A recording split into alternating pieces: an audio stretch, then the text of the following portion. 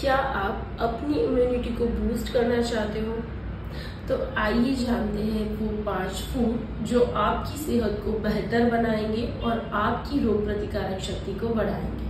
पहला फ़ूड है orange citrus फलों में विटामिन सी भरपूर मात्रा में पाया जाता है, जो हमारी रोग प्रतिकारक शक्ति बढ़ाने में मदद करता है। दूसरा फ़ूड है लहसुन। इसके अंदर मौजूद एलिसिन एंटीबैक्टीरियल गुणों से भरपूर होता है, जो हमारे शरीर को खराबी से बचाने में मदद करता है।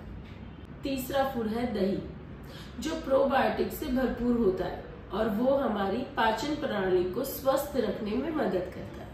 चौथा फ़ूड है पालक, जिसमें विटामिन ए सी और फॉलेट होता है, जो हमारी इम्यूनिटी सिस्टम को सुरक्षा देता है। और लास्ट फ़ूड है बादाम जो विटामिन ई e और फाइबर से भरा हुआ होता है, जो हमारी इम्यूनिटी को स्ट्रांग बनाता है।